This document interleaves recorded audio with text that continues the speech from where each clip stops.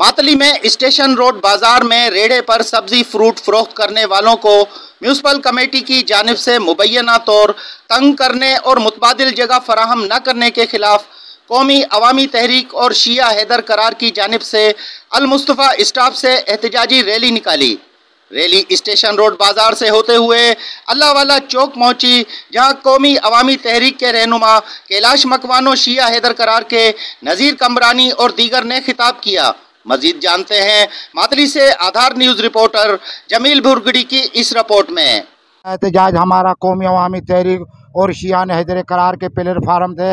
यहाँ के गरीब रेड़े वाले मजदूर, गरीब मस्किन हैं, जिन्हों की घर की रोटी भी नहीं होती है। यहाँ की म्यूनसिपल इंतज़ामिया इतनी नाहल है कि इन्होंने अपने लाठड़े खड़े कर दिए हैं, जो इन्हों के ऊपर रोज़ आके तशद भी करते हैं, इन्हों से घुंडा टैक्स भी लेते हैं, और ये कहते हैं कि रोज़ हमें पाँच सौ रुपया एक एक रेड़े वाला दे, और ये दुकानदार है, जो अपने आप को कहते हैं कि हम यहाँ के लोगों के बड़े हमदर्द और खैर खां हैं, मगर वो भी उन्हों से भत्ताखोरी कर रहे हैं।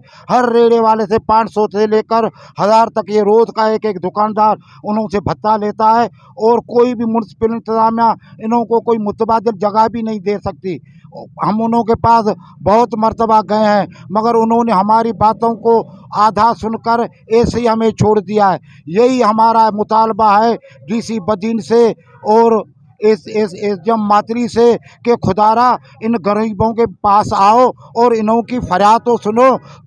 आज का जो एहतजाज है, ये गरीब जो रेले वाले हैं, इनको पंद्रह रोज़े से लाठी चार्ज की जा रही है, भगाया जा रहा है।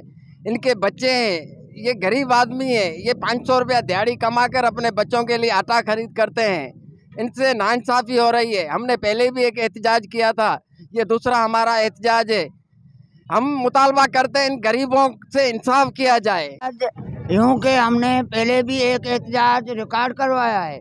इन ठेले वालों के लिए, गरीबों के लिए कि यहाँ की इंतज़ामिया से पहले मिले हम, उन्होंने कोई रिस्पांस नहीं दिया।